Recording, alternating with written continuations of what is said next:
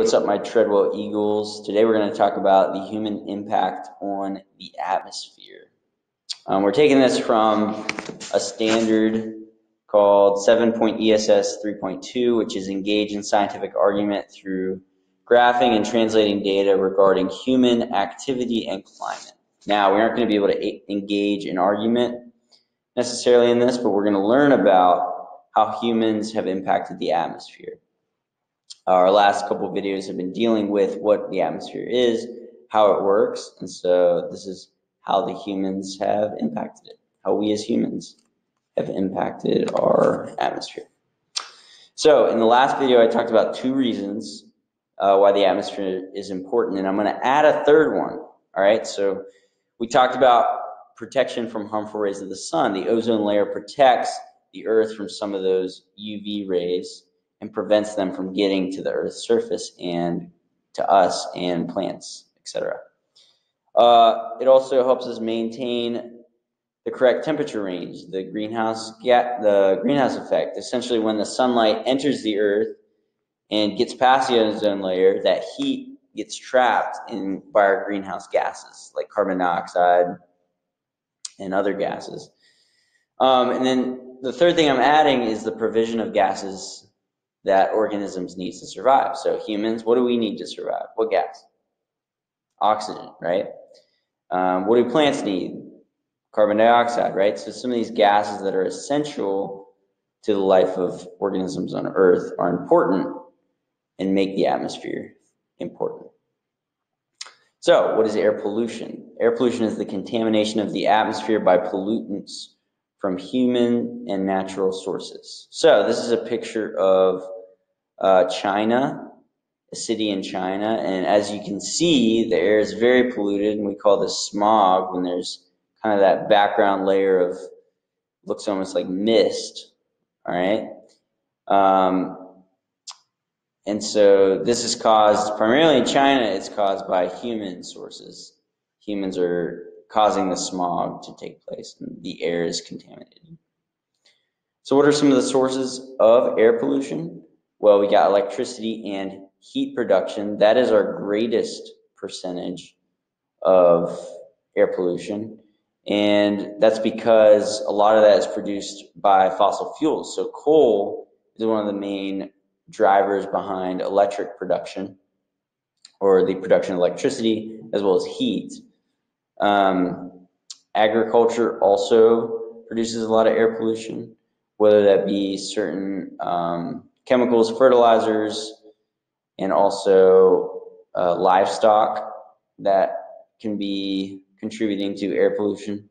Transportation is another big one, as well as just general industry and then um, buildings as well. So why is air pollution bad? So there are three reasons I'm going to give in this video. One is acid precipitation. Two is reduced air quality. Three is depleted ozone layer. So acid precipitation is any rain, snow, sleet, or other precipitation that contains acids from air pollution. So if we look at this, actually this picture previously, we see these fish who are lying there dead. This is actually a result of what happened in Alaska was there was some acid rain and it killed a lot of the salmon in the stream. The way this happens is fossil fuels produce these gases like sulfur dioxide, uh, nitrogen oxide, carbon dioxide, and they end up reacting in the air and creating different acids, acids, right? So sulfur dioxide produces sulfuric acid. Nitrogen oxides produces nitric acid. Carbon dioxide produces carbonic acid. And this mixes with the water or the, the snow, sleet, whatever's coming down, and it is going to impact our lakes, our streams, our soil. And obviously, if the soil is too acidic or the soil is too acidic, plants can't grow, animals can't live there. Um, so it creates a lot of problems. So that's the important reason why we need to prevent uh, air pollution is because of acid precipitation. Another is just air quality in general. Air quality is essentially how clean or polluted the air is. This can be measured by the AQI, which is the air quality index. And different places like China are going to have worse scores on that. Now, we live in America and we're actually very fortunate to have what's called the EPA, the Environmental Protection Agency. This was established under President Nixon. And essentially, this agency has put regulations on industry. And the result of that has been the United States, for its economic and industrial capacity, has really not uh, contributed as much as many of the other countries in terms of pollution. We still pollute a lot, but the EPA has really regulated um, and created ways that uh, industry isn't producing as much pollution. Now, pollution has an effect on human health. Um, short-term effects of air pollution can be coughing, headaches, difficulty breathing, itchy eyes. Long-term effects can be lung cancer, allergies, asthma, um, emphysema, chronic bronchitis. Emphysema is just like a shortness of breath uh, type condition in the lungs. So again, we don't want this air pollution because it reduces the air quality and that affects our human health. Now, the ozone layer, depletion of the ozone layer is another big deal.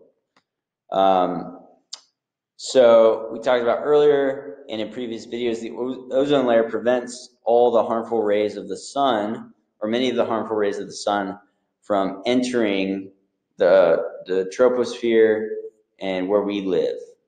All right.